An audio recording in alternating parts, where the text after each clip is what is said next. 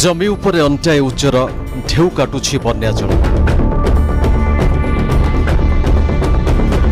ଉପରେ କିନ୍ତୁ ବାଉଁଶ ଭାଡ଼ି ଉପରେ ହସୁଛି ଫସଲ।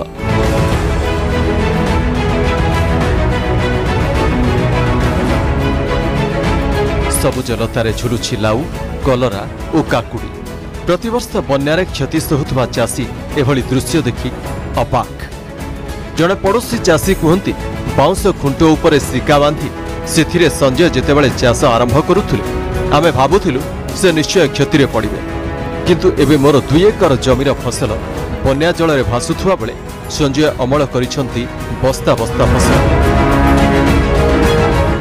ଆମେ ଯେ ତଳେ କରିଥିଲେ ଆମର ସବୁ ଚାଲିଗଲା ବନ- ବନ୍ୟା ପାଣିର ଚାଲିଗଲା କିନ୍ତୁ ଆର ରହିଲା। ମୁଁ ଆସିକି ଆର ଦେଖିଲା ବେଳକୁ ମୋ ଘରଟା ପାଖର। ଦେଖିଲା ବେଳକୁ ବହୁତ ବଢ଼ିଆ ଚାଷ ହେଇଛି। ମୁଁ ବହୁତ ମନ ବଳିଲା ଯେ ମୁଁ ଏଇ ଚାଷ କରିମି ଏଇ ସିଷ୍ଟମର ଚାଷଟା କରିମି।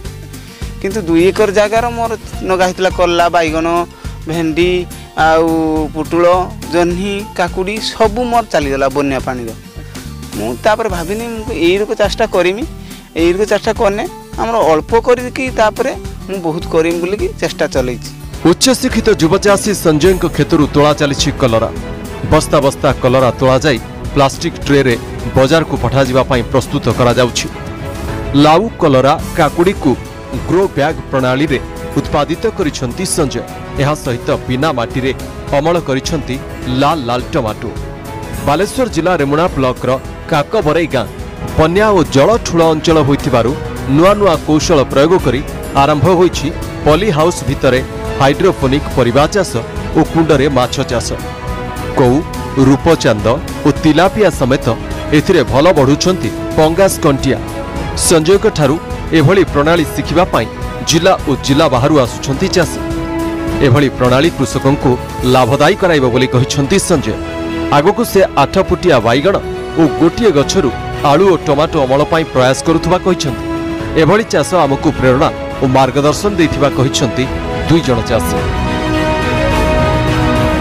ତ ଏନ୍ଏଫ୍ଟିର ନ୍ୟୁଟ୍ରିସନ୍ ଫୁଲ୍ ମ୍ୟାନେଜମେଣ୍ଟରେ ସେଟା ଆପଣଙ୍କର ଗୋଟେ ସାଇଡ଼୍ରେ ପାଣି ଯଦି ଇନ୍ ହେଉଛି ଗୋଟେ ସାଇଡ଼୍ରେ ଆଉଟି ହେଉଛି। ଆଉ ଗୋଟେ ଯେଉଁ ଥିଲା ଡି ହାଇଡ୍ରୋପୋନିକ୍ ଯେଟା ହେଉଛି ମୋ ପଛପଟେ ଆପଣ ଦେଖିପାରୁଥିବେ ସେଟା କିଛି ପାଣି କିଛି ଫ୍ଲୋରିଂ ହେଇକି ରହିବ। ଯାହାକି ଆପଣଙ୍କର କରେଣ୍ଟ କଟିଲେ ବି କିଛି ଅସୁବିଧା ନାହିଁ ଆରାମସେ ରହିବ। ଆଉ ରହିଲା ହେଉଛି ପେଶୁଆ ହାଇଡ୍ରୋପୋନିକ୍ ଯେଟା ହେଉଛି କିଛି ଗ୍ରୋଇଂ ମିଡ଼ିଆକୁ ନେଇକି ଚାଷ କରୁଛେ।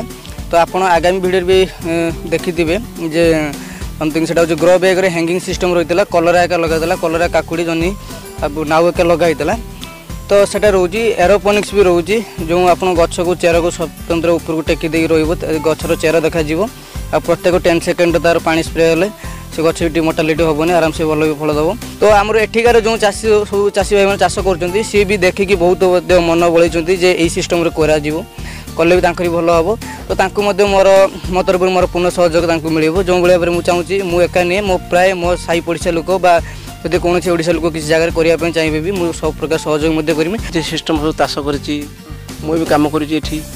ଆଉ ଦେଖିଲେ ଭଲ ହେଉଛି ଆମର ତ ବନ୍ୟା ଅଞ୍ଚଳ ଯାହାଫଳରେ ସବୁ ବନ୍ୟାରେ ଚାଲି ହେଉଛି ଇଏ ତ ଶିକା ବାନ୍ଧିକି ତାର ଭଲ ସିଷ୍ଟମ୍ର କରିଛି। ଭଲ ଇନକମ୍ ବି କରୁଛି ଚାଷବାସ ସବୁ ଚାଲିଗଲା ବନ୍ୟାର। ଆଉ ଆଙ୍କର ଇଏ ସିଷ୍ଟମ୍ କରିଛି ଭଲ ବି ଲୋକ ଆସୁଛନ୍ତି ଦେଖୁଛନ୍ତି। ସେମାନେ ବି କହୁଛନ୍ତି ଆମେ ବି କରିବା ଏମିତି। ଆମର ବନ୍ୟା ଅଞ୍ଚଳ ଆମେ ଆମ ଚାଷ କରିପାରୁନେ। ଆଉ ନଷ୍ଟ ହେଉଛି ସବୁ ଏମିତି କରିବା। କଥାରେ ଅଛି ଚାଷ ଅଛି ଯାହାର କି ଆନନ୍ଦ ତାହାର। ଏ କଥାକୁ ମର୍ମେ ମର୍ମେ ବୁଝିଛନ୍ତି କାକବରେଇର ଯୁବ ଇଞ୍ଜିନିୟର ସଞ୍ଜୟ। ସେଇଥିପାଇଁ ତ ସିଏ ବିଭିନ୍ନ ନୂଆ ନୂଆ ଜ୍ଞାନ କୌଶଳ ମାଧ୍ୟମରେ ଚାଷ କରି ବେଶ ଲାଭବାନ ହେବା ସହିତ ଅନ୍ୟମାନଙ୍କୁ ଲାଭବାନ ହେବା ପାଇଁ ଦେଉଛନ୍ତି ପରାମର୍ଶ। ଯୋଉଥିପାଇଁ କି ଦୈନିକ ରାତି ପାଇଲେ ତାଙ୍କ ଘର ପାଖକୁ ଛୁଟୁଛି ଚାଷୀ ଭାଇମାନଙ୍କର ସୁଅ। ଆଉ ସେ ବର୍ତ୍ତମାନ ସାଜିଛନ୍ତି ଅନ୍ୟମାନଙ୍କ ପାଇଁ ପ୍ରେରଣା। ବାଲେଶ୍ୱର କାକବରେଇରୁ କ୍ୟାମରା ପର୍ସନ ଜ୍ଞାନରଞ୍ଜନ ଦାସ ସହିତ ପ୍ରକାଶ ମହାନ୍ତି ଅର୍ଗସ୍ ନ୍ୟୁଜ୍